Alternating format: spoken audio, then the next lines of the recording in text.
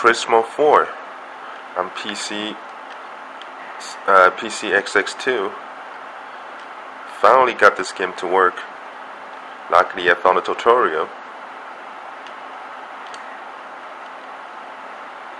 See, it runs pretty good. There's some small glitches on the graphics, but nothing that really bothers.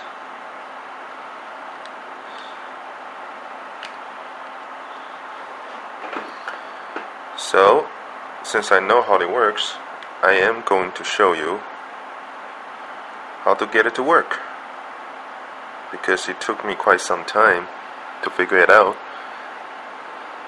And then those emulator sized tutorials or forums, they're not much of a help because they're not exactly focused on how to get it to work. Usually people ask a question, others try to answer, but nobody really trying to put out a total tutorial to make sure that uh, people can get the game to work. So it was quite confusing. But luckily, I found a YouTube video that teaches you how to get it to work with the packages of files, stuff like that. So I'm going to show you how to get Gran Turismo 4 work on PCSX2.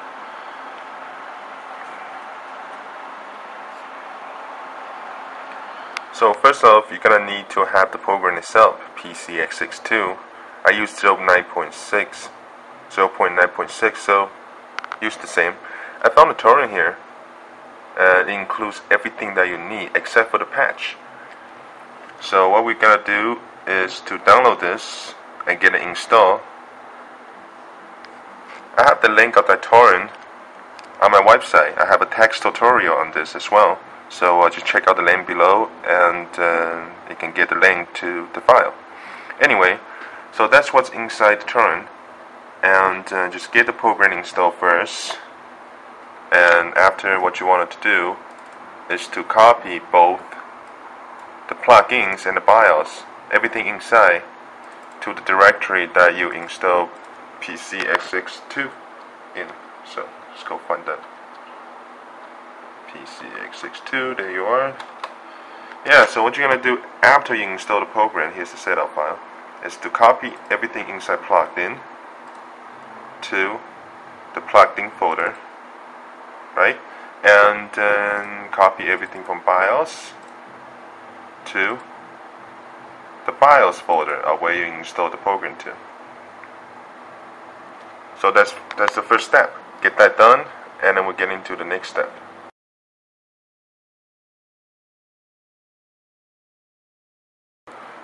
So next thing you wanted to do is to get the patch for Gran Turismo 4 for the emulator. And uh, I have uh, created a RAR file and I uploaded to my website server. And uh, here's the link, but I also, of course, I have the link in the uh, the text review, uh, the text how-to of this thing. So just go to the link below. You can get this file. So just get this file, extract it, and then copy what's inside to the folder that uh, you installed the PCSX2 to. There should be a, a, patch folder. Just copy in there, and now we're ready to run the game.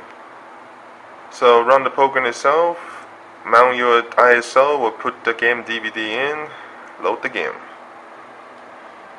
Everything should be okay without any hassle in the beginning, the menu part and everything but it's the in-game that causes all the problems, graphics and everything. So let's get to that part.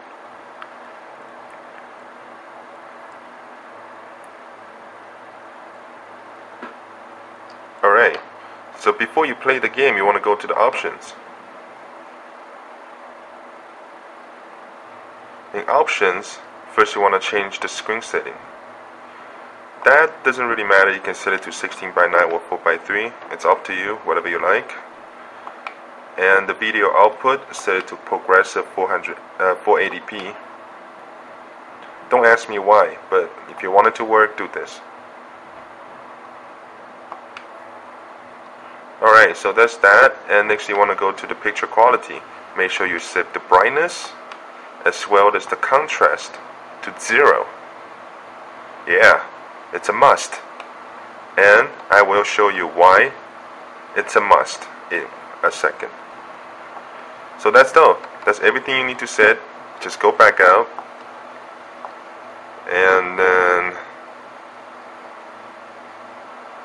save your settings and you're ready to play Gran Turismo 4 on your computer.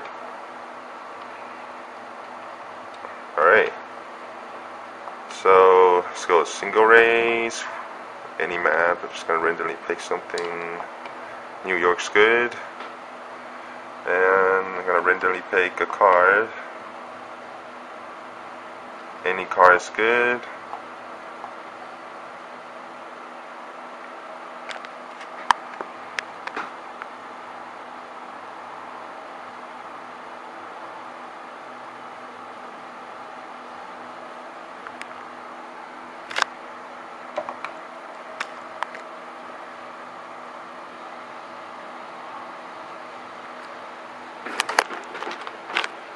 So the game should run without any problems.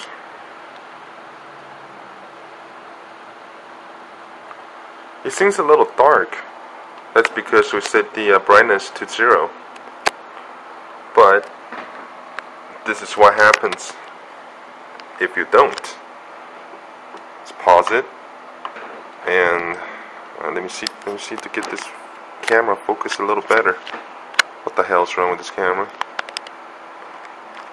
Was it too close? Was it too far? Being a pain in the ass. But anyway, if we go to uh, the screen settings, it gives you the options of changing the brightness and the contrast in game. Okay, so if you set the brightness to anything other than zero, your screen go ape shit. Yeah. It's gotta be zero. Everything else will not work. Same thing to contrast. You change it, it go ape shit. You bring it back, it's playable. So yeah, don't miss a step. It's a must if you want to play it. And then after that, you should be able to enjoy Gran Turismo 4 on PCSX2. As long as your computer is fast enough for it, that is.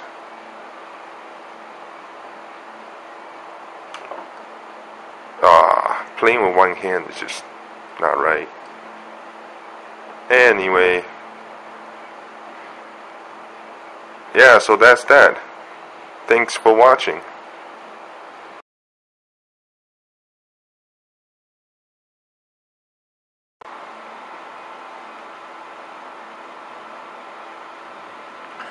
Yeah, earlier I had the frame skip on, so you lose kinda laggy.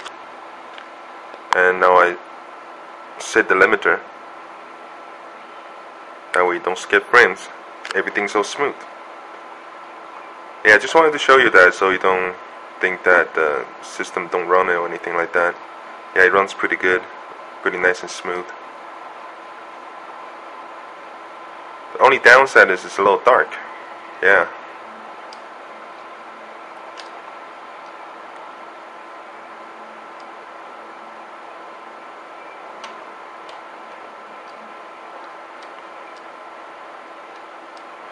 So yeah, anyways, thanks for watching. Hope to help you to play Gran Turismo 4 on your PC.